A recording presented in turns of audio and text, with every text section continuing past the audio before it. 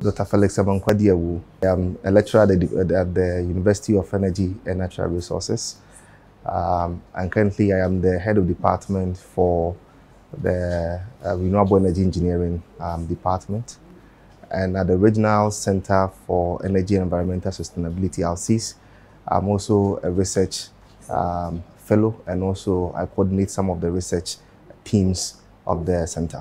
The digital education training has been um, very um, important and of um, tremendous um, importance to my own personal um, development. In that, in terms of the way I deliver course now, it's much more um, efficient, and then students are now able to also engage uh, more in the courses that I do. so at first, the really challenge was that was how to be able to develop my content, to be able to make sure that all the students with different learning capabilities and abilities are able to grasp what I was, was supposed to deliver to them. But coming to this training, we have been trained on how to be able to develop a very effective uh, lesson plan, which is able to now incorporate all the different learning strategies um, so that all the different students are able to understand and appreciate um, the course that we are trying to uh, deliver and the impact that we want to make.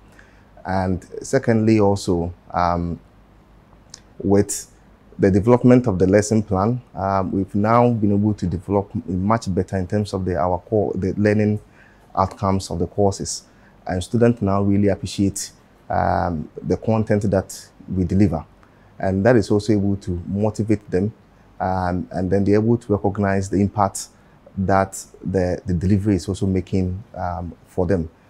And in, in that, students are now more motivated to be able to um, submit assignments um, and also be able to meet deadline for projects um, as well. And also, thirdly, um, one thing that I could say is that one thing about the digital education is how to sustain um, the interest of your, your learners and also how to make sure that they are continuously engaged in what you want to um, deliver to them. Now, based on the training that we have received, we now know how to incorporate different activities in our, our program so that students' participation is always very high. So now, for example, we now know how to um, introduce a gamification um, in the courses that we teach. And that is something that is making students more um, interested in the training that we offer. So the interesting thing is that now students that is coming to the center, coming for our courses, really, they don't really want to miss our classes uh, because of what they gain. And also it provides them with uh, more opportunities for them to also contribute and have a lot of collaboration in terms of their discussion with their um, group members. So some of these are some of the things that I think has been of uh, importance um, to us and how it can also transform the university. And again, even uh, at the university um, wide level, I think that this is also going to be very um, important um, to them. Um, the, the, situation that now we are a very young university, and then we lack a lot of um, different infrastructure to be able to support, for example, face-to-face -face, learning. But I think with the digital education, it doesn't matter wherever you are, um, your location or wherever, it is always easier to be able to still learn what you're supposed to, to do.